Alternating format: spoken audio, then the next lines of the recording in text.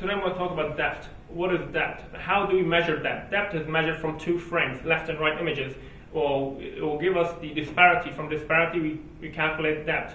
Um, why do we need depth? Depth, uh, we need to calculate how far the object is within the scene, or how far it is within uh, object A and object B. Why do we need that? We need to control that uh, during um, shooting or during the display for people to um, control um, the eye fatigue, control their headache. We can also use it for, if we have that or a 2D image, we can generate um, a 3D content, meaning with a 2D um, image, with, with, with, that, we can generate um, two, three frames from that, meaning from different angles, shot from different angles.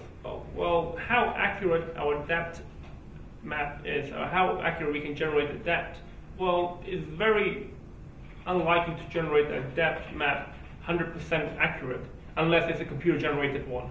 The real depth from the real content, from real 3D content, is very difficult to, to get 100% right. Maybe you can get it up to 70 or 80% to max because there is still a lot of research going on uh, generating a depth map from a real content. How we notice if a depth content or is a depth value or information. Depth, uh, we can we can view that uh, map from a grayscale value, meaning it's got a different values in there, meaning each value represents a distance, how far they are from the camera, and how big they are, looking at the size, comparing with the other object in the scene.